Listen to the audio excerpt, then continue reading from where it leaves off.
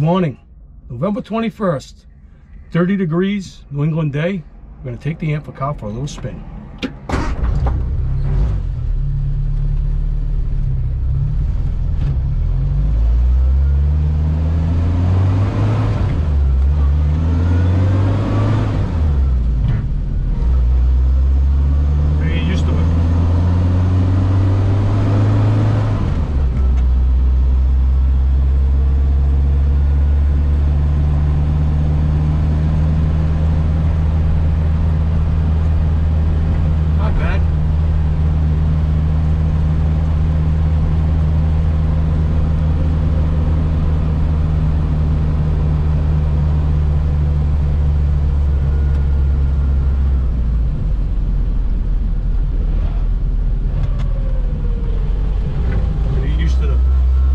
different car.